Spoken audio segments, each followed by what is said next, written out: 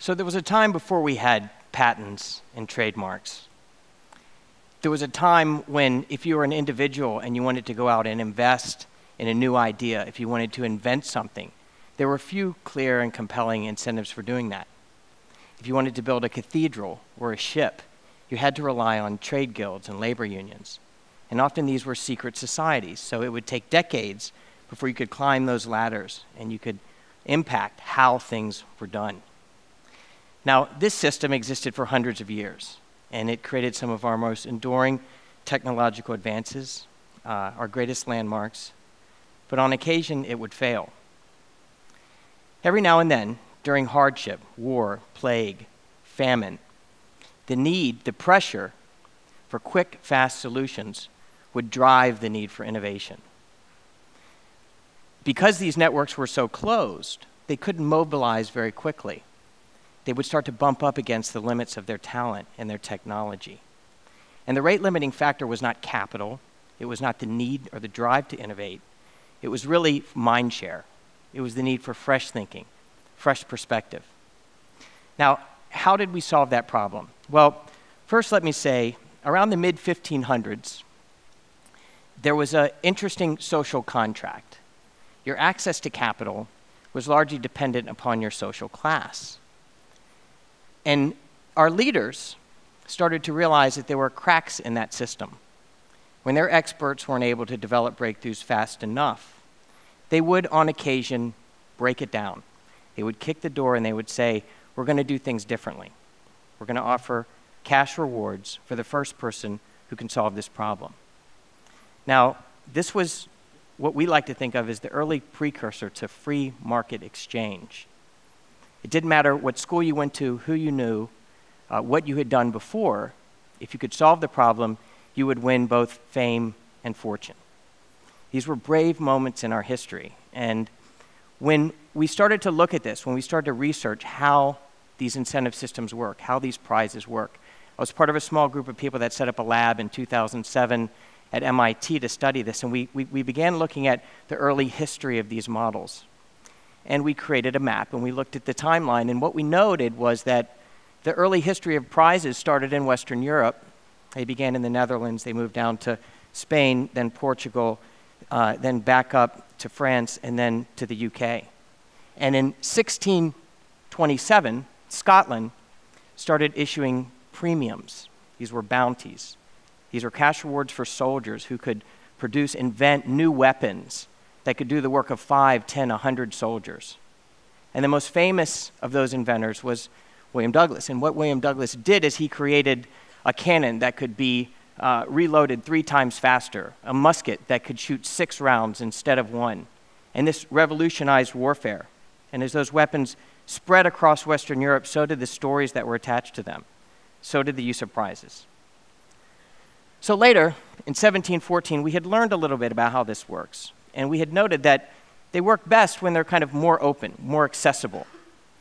One of the great problems of that era was that it was nearly impossible to determine longitude on the high seas.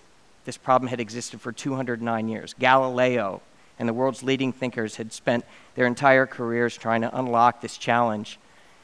And the British government decided that they would put up 20,000 pounds for the first person to come up with a solution. John Harrison emerges, an English clockmaker who produces a pocket watch that can accurately tell time on a naval vessel. This creates a vector so that beyond the sight of land, you could determine both magnitude and direction and identify your point on any given plane. It revolutionizes naval exploration. It expands our reach. All of a sudden, we're developing new ways of reaching new continents and we take with that our commitment to incentivize competition, our prizes. Now, if there was ever a golden age for the use of this model, it occurred between the mid 1700s and the mid 1800s. This was the Industrial Revolution. This was a time when technology was seeping into the fabric of our everyday life. Napoleon was tramping across Eastern Europe.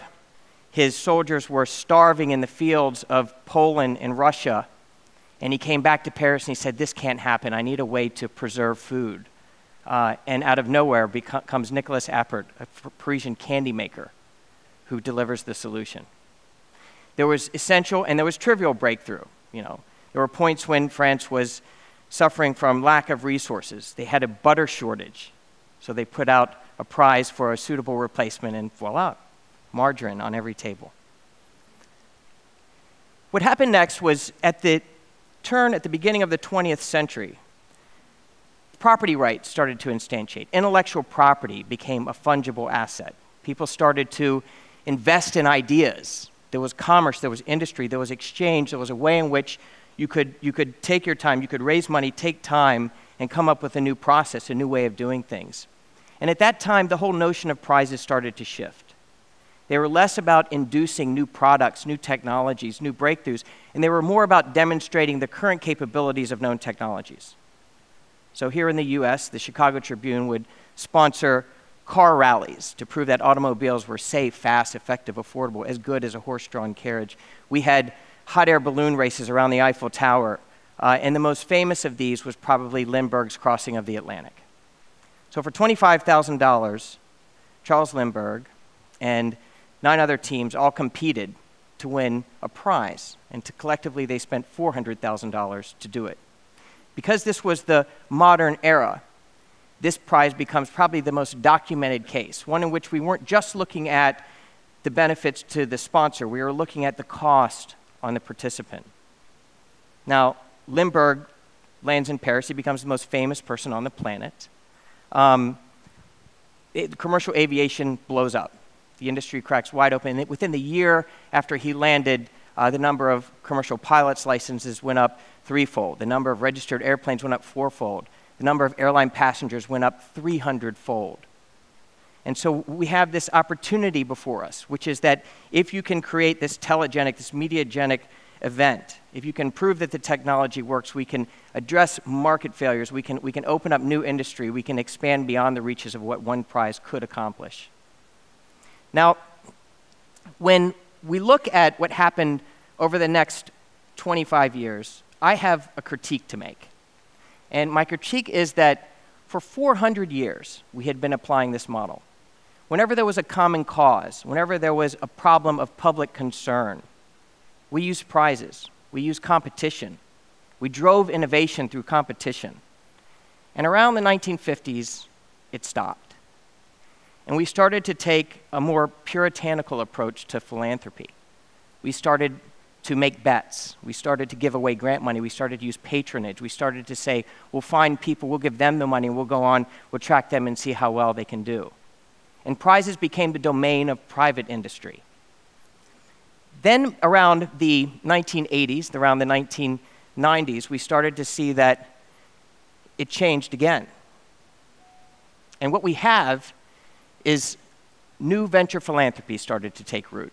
Now, new venture philanthropy are people who found their money recently and wanted to achieve the same results through philanthropy as they had done in their, in their, in their commercial enterprises. They wanted leverage, they wanted to pay for performance, they wanted a story that they could tell, they wanted to break open a new industry.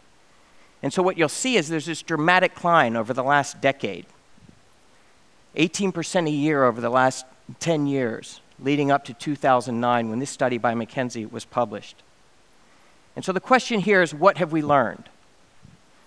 Now, our early experimentation, we were uh, in this last decade, mostly hinged on this notion that the more money you put up, the more participation you'll get. We've since learned that that's not the case. And if you actually go out and you survey people who participate in these prize competitions, it's kind of the lowest common denominator for them. It's kind of like in the 1980s when you got the check from Ed McMahon and it said, Congratulations, you've won a million dollars, and we all opened the envelope. Well, no one opens that envelope anymore. So we're seeing marketing geniuses, people who by far are known for their ability to, to dazzle and to change industry, who've put up prizes of $25 million, $30 million with zero participation. So, what do we know? When we talk to people who participate in prizes, what do they want from us? What they want from us is transparency, they want fairness, they want openness. They want two forms of value. They want to know that when they're being judged by others, they're being judged by credible authorities, people with pedigree. They want to know that they'll get feedback, vertical feedback, feedback that will come down to them so they can understand how well they did. And you'd be surprised to learn that whether it's a business planning competition or a competition to develop an algorithm around machine scoring, a lot of the work that we do, once they know that they have that pedigree, once they know that they have that quality feedback, the second thing that they want is they want to connect to the other people. So, in the fiercest, competitive, most competitive environments, we have people sharing information through these prizes. We have people collaborating. We have people nominating others. And we are building communities around these prizes so that it's not just about competition, it's also about collaboration. So, if I have one final thing to say, it's that as we look at this curve, we can tell that there's a lot of activity here, and there's a lot of failure as well. And what I would, what I would ask is that whether you're a foundation or a government agency, that you carve out just our 10%, let's call it 10%. And let's try to use this model. We've had a tradition for 400, 500 years now. It's time that we reinvent it. And at a time when we're all tightening our, uh, tightening our belts, when we're all talking about pay for performance and efficiency, this is the right tool and this is the right time. And thank you very much.